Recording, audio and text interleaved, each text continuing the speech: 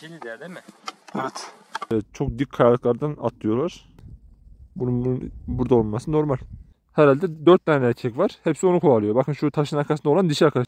Böyle bir yol izliyorlar. Merhaba arkadaşlar, hepiniz kanalıma hoş geldiniz. Ben Mert Yılmaz, ben iyiyim, umarım sizler de iyisinizdir. Bugün Ozan abi, Deniz abi ve ben yapacağız. Abi ondan önce Çağlayan'a geldik. Ozan abi Mert en son benim boylardayken gelmiş. ne zamandır gelmiyorduk buraya. Buraya da geldik arkadaşlar. Mükemmel bir doğası var. Erzincan Cimlemiş şelalesi. Arkadaşlar şunu belirtmek istiyorum. Bugün Mert'in arabasında offroad maceramız Offroad offroad başlıyor. arkadaşlar bunu unutun.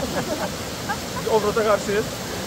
Ama harika bir, e, bayağı bir turist de geliyor buraya arkadaşlar Erzincan'a gelen. Hatta restoranlar var. Gelip burada eğleniyor. Orada da yemeklerini yiyorlar. Değil mi abi? Aynen bir de şey mesela kışın eskiden doğa sporları vardı. Buz, buzlara sarsıyorlardı. Abi, Hani. Buzlar belki- tırmanıyorlardı. Hiç olduğunda yine gelebiliriz buraya. Aynen Oradan donacak ya. Aynen aynen. Güzel.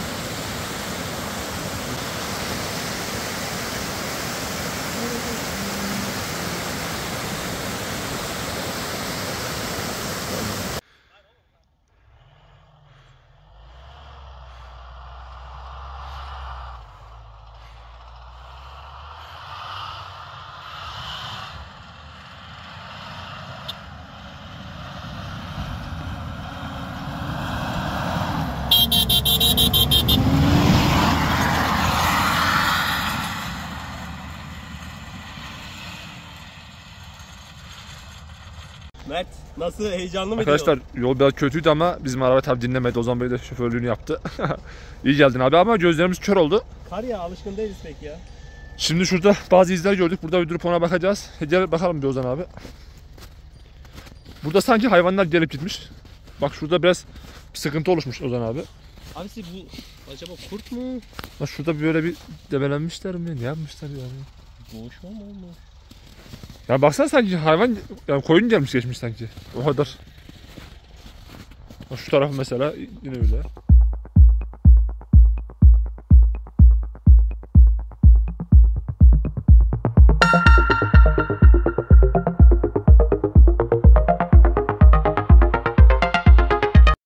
Uzaktan dürbünle bir şamvar grubu görüyoruz arkadaşlar. Şimdi onlara doğru gidiyorum. Tabii ilk başta olduğu için e, drone'dan biraz ürküyorlar. Ama biraz yavaş yavaş drone'u alıştırmaya çalışacağım hayvanları. Amacımız onları ürkütmek değil, onların güzel e, görüntülerini yakalayabilmek. Bakın bunlar biraz sakinleştiler. Ve yavaş yavaş e, drone onlara zarar vermeyeceğini onlara göstereceğim. Onlar da belli bir zaman sonra alışacaklardır. Bunlar şamva çengel boynuzlu dağ keçileri arkadaşlar. Normal dağ keçileri gibi değil ama biraz bunlar normal dağ keçilerinden ürkekler. O yüzden alıştırmak için zaman lazım. Şöyle şuralarda biraz daha bakalım. Bayağı bir dağ keçisi var burada çünkü. Her yerde çıkabilir. Bakın yukarıda bir grup daha varmış. Şimdi onun yanına gidelim. Bu da önemli değil bunlar arkadaşlar. Bunlar farklı. Ee, Bunları biraz daha yani kendime e, yakın seçtim. Çünkü bunlar daha az hareketli. Belki bunlara yaklaşabiliriz. Deneme yapalım yine de. Yaklaşabilirsek yaklaşacağız. Yoksa çok zorlamayacağız hayvanları. Evet gördüğünüz üzere hayvanlar kaçıp e, taşa geldiler arkadaşlar. Böyle kurtlardan olsun başka bir e, tehlike anında her zaman taşa gelirler. Kurt olsun ayı olsun oraya çıkamıyor çünkü. Tabii drone ne olduğunu daha bilmiyorlar ama bakın daha deminki e, hayvanlar nasıl ürkeklerdi. Ama belli bir süre sonra gördüğünüz gibi drone'a çok rahat bir şekilde araştılar. Fazla drone'u hareket ettirmek ettirmezsek eğer zaten hayvanlar alışıyorlar arkadaşlar. Amacımız hayvanları yormak ya da ürkütmek değil. Onların güzel görüntülerini alabilmek. Yani doğal görüntülerini alabilmek. Biraz daha yaklaşalım. Bu biraz zayıf geldi bana ama belki yaşlı olabilir arkadaşlar. Tam bilmiyorum. Burada bir tane dişi var. Herhalde 4 tane erkek var. Hepsi onu kovalıyor. Bakın şu taşın arkasında olan dişi arkadaşlar. Küçük olan var ya. Bak yarın içine doğru gidiyor. Bu büyük ihtimalle dişi. Şöyle baktığında bakarsak. 2 4 5-6 tane erkek var. Hepsi de onun başına toplanmış. Herhalde eşleşme dönemleri geldikleri için böyle bir yol izliyorlar. Katım zamanları geldi herhalde. Bakın gördüğünüz gibi gayet drone'a alıştılar. Ya bu kadar basit alıştırmak. Şimdi ayrılıyoruz.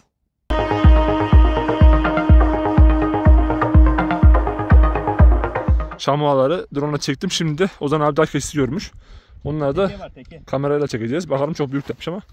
Eğer yakın mesafesi de ben de drone gönderebilirim. Hangilerini abi? Hayvana elverişli yani. Daha şeysi çekemedik arkadaşlar. Yani bir çengel boynuzu çektik ama diğerini çekemedik. Onun için bakıyoruz. Bir de ayı falan da oluyormuş burada. Kurt da olabilir. Onlar için yeniden görüntü almaya devam ediyoruz. Şimdi de dağ keçisi grubu fark ettik arkadaşlar. Bayağı büyük bir sürü. Daha demin inceliklerimiz çengel boynuzlu dağ. Bunlar da normal dağ. Yani ikisi farklı bir ırk aslında. Bildiğim kadarıyla da birbiriyle eşleşmiyorlar. Ama bazen aynı sürülerde dolaşabiliyorlar. Nadiren de olsa. Ama birbiriyle eşleşmiyorlar. İkisi farklı. Gerçekten aşırı çe- çevik hayvanlar. Yani hiçbir yer dinlemiyor arkadaşlar. Fazla drone'u yaklaştırmıyorum. Yani normalde insan orada dolaşamaz. Ama bunlar gördüğünüz gibi böyle e, çok dik kayalıklardan atlıyorlar. Tabi bunların da yaratılışı böyle. Bunlar da böyle hayatta kalabiliyor. Yoksa kurtlardan kaçamazlar aslında. Mesela buraya kurt bunlar gibi çıkamaz. İmkansız yani. Bakın bunlar normal yolda yürüyormuş gibi atlıyorlar taşlardan. Herhangi bir sıkıntı olmuyor. Zaten kendilerini yabani hayvanlardan kurtarmaların öncelikli sebebi de bu. Hiçbir böyle yani avcı hayvanın çıkamayacağı yerlere çıkıyorlar. Çok rahat bir şekilde düz duvardan tırmanıyorlar.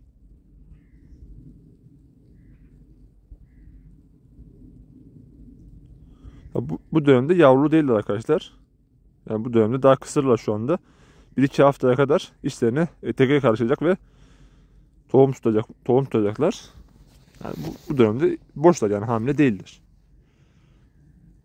O yüzden böyle çok rahat hareketler yapabiliyorlar.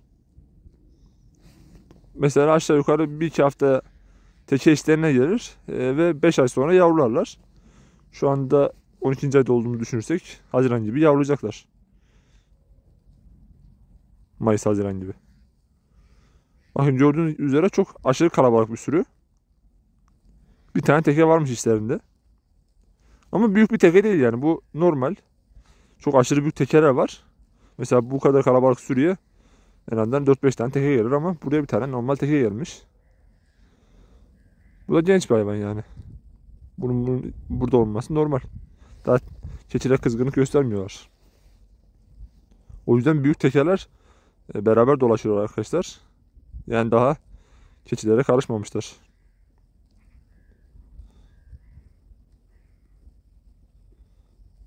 Burada aşağı yukarı 20-30 tane var. Hepsi de gördüğünüz gibi besiller. Yani yaz kış bu dağlarda duruyorlar ve bu soğukta çok iyi hayatta kalabiliyorlar. Gerçekten çok zor bir durum. Soğukta yani nasıl dayanıyor onu da bilmiyorum. Burası da Erzincan Ovası. Karşıda Keşiş Dağları.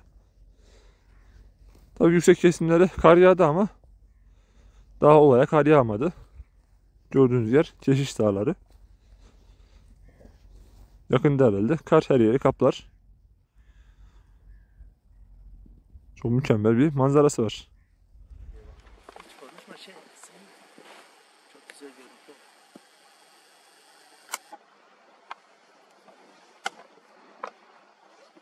Bir tane lider var önünde.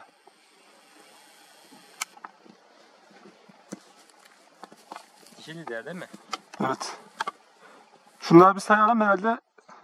Bizim bu arada yukarıda şamoğlar var. Ayı sandık onları. 12, 13, 14, 15, 16, 17, 18, 19, 20, 22, 23, 24, 25, 26, 27, 28, 29, tam 30. Aa, arkada çok geliyor. Aa, Derenin arka var içinde daha. hala hayvan var, derenin içinde. Ama içinde teke var. Peki o normaldir zamanı bırak. 30, 31, 32, teke var. 33, 34. Bakın arkadaşlar şimdi hayvanlar size sayacağız beraber. Saymaya başlayalım. 1, 2, 3, 4, 5, 6, 7, 8, 9, 10, 11, 12, 13, 14, 15, 16, 17, 18, 19, 20, 21, 22, 23, 24, 25, 26, 27, 28, 29. Bak bir tane çok ufak var.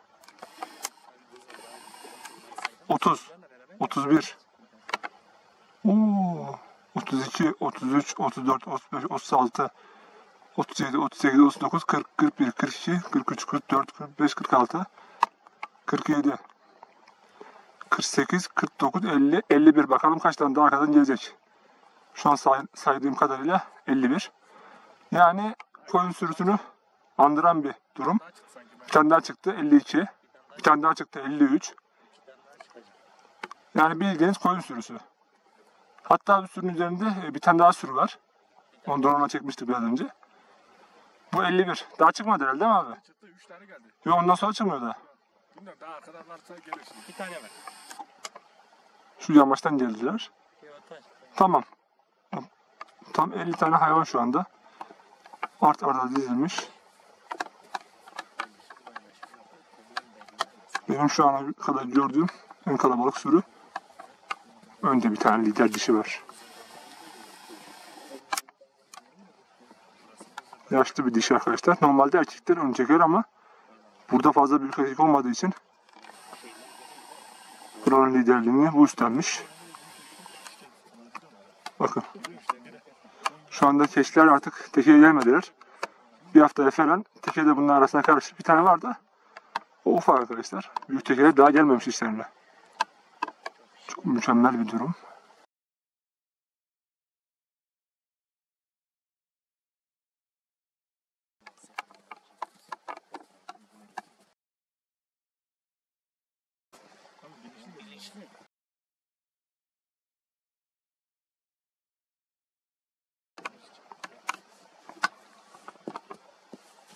Bakın şu anda lider dişi aşağı doğru indi. Bayağı mı aşağı indi hayvanlar?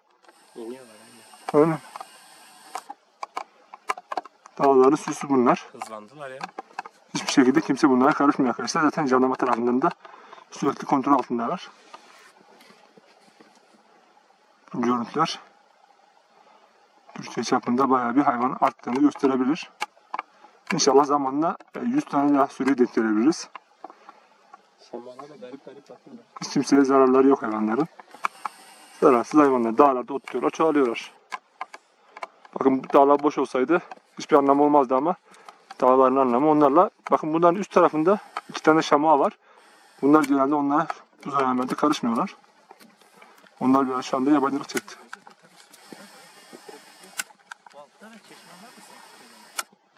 Bunlar şamağı. Tek mi biz öyle? Teker var. Hayvanlar tek sıra halinde şu anda ilerliyorlar. Bakalım kurt falan görebilecek miyiz arkadaşlar? Artık geriye gidelim.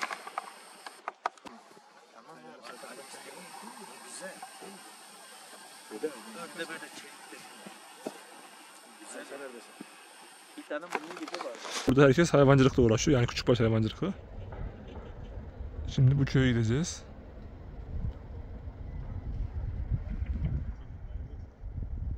Al montun üstüne al. Köye geldik arkadaşlar. Burada bir anne oğul var.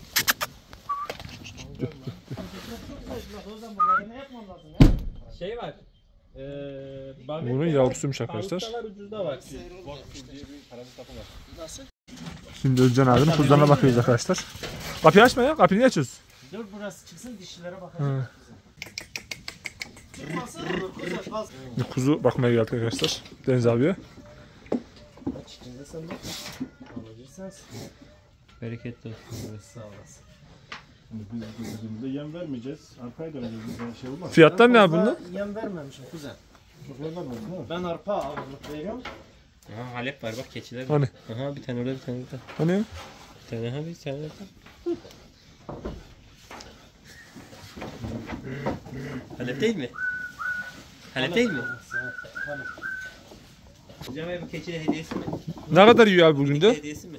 Bir, bir günde bir kiloya yakın yiyor. Ha. Deniz abi ne yapmak için alacak şimdi? Koyun mu yapacak? O zaman et önemli değil. Bunları o aşağıya koyayım istiyorsan dışarı sal. Ne demek sen verdin bunları ya? Sizin at var mı burada? Ne bakın Bu atlar, eşekler. Sütüyen nerede?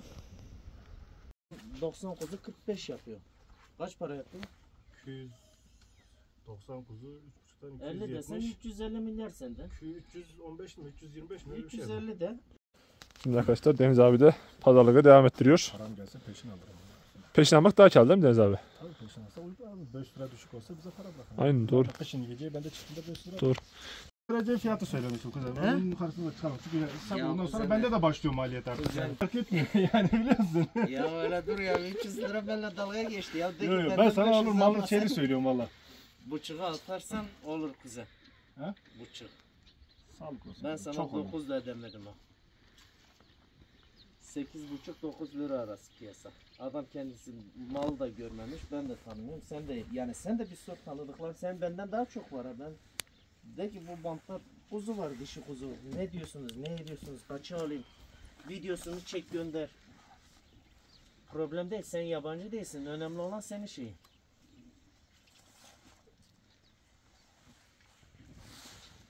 Yani sen direkt kilo üzeri almışsın. Ben de ha. zaten onlara da söyledim. Dedim gelecek kilo da odur yani. Gelecek kilo senin yanında. Arkadaşlar şimdi çekimimizi bitirdik. Gittik çeşitleri falan çektik ama ayıya falan denk gelmedik. Şu anda arabamızı yıkadık Ozan abinin orada. Şimdi yavaş yavaş artık ayrılacağız. Bir şey demek istiyor musun abi? Yok yani bundan sonra yine videoların devamı gelecek. Ee, güzel ikili olduk aslında ama. Aynen, Deniz Ge- gelecek yani. Tabii Deniz abimiz üçlüyüz aslında. Aynen. Siz var ya siz. Ee, Bir dahaki videomuzda görüşmek üzere arkadaşlar.